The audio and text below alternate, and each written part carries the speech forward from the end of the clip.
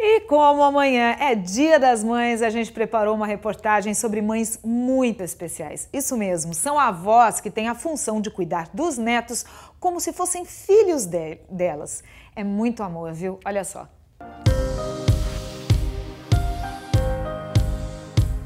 Certeza você já ouviu dizer: quando nasce um filho, também nasce uma mãe. Na verdade, nesse dia, outra pessoa ganhou uma nova identidade. A Maria Eugênia virou avó, mas o neto Jonathan é como se fosse filho. Jonathan é a bênção de Deus na minha vida.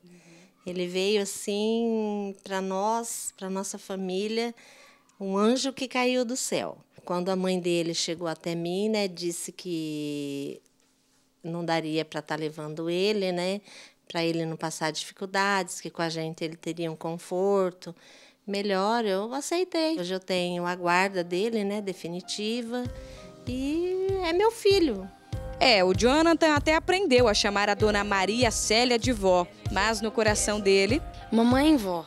Eu aceito os dois por causa que ela que me criou desde quando eu nasci, né? Então, quando ela tem problemas, assim, que ela tem problema no coração, aí eu choro, aí eu oro. Mas, igual ela, acho que não dá pra viver sem ela.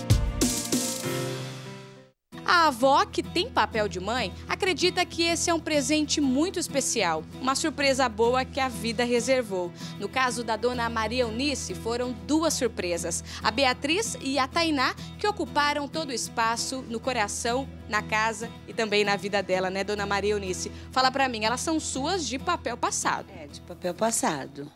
Elas são minhas tem a guarda delas definitiva. Para as netas, não existe ninguém no mundo que faça melhor o papel de mãe como a dona Maria Eunice.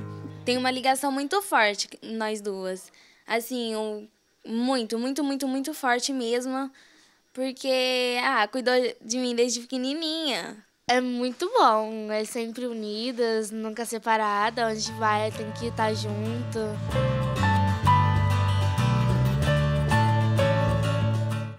Essas fotos são do álbum de uma família grande, viu? Mas vamos começar do início. Essa é a dona Iraci, que cuidou da neta Camila como se fosse filha. E o tempo trouxe mais uma missão: cuidar da bisneta, a Rebeca, que é filha da Camila. A menina até prefere mais a bisavó do que a mãe. Que ela é mais legal que a minha mãe, não coloca tanto na linha. A Di fica com ela. Quando ela, a Rebeca nasceu, minha avó que cuidou dela desde nenezinha até agora. É coração de mãe, cabe sempre todo mundo. Eu queria até o dia que eu puder, puder andar, puder levantar da cama. E não para por aí. Agora a dona Iraci continua com a função dupla de avó e de mãe.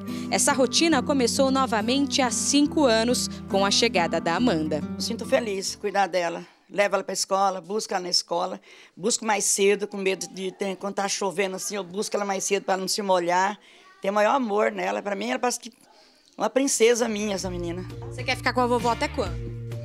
Um montão de vezes. É amor demais. Uhum. Pois é, no coração de mãe sempre cabe mais um. Imagina então no coração de avó.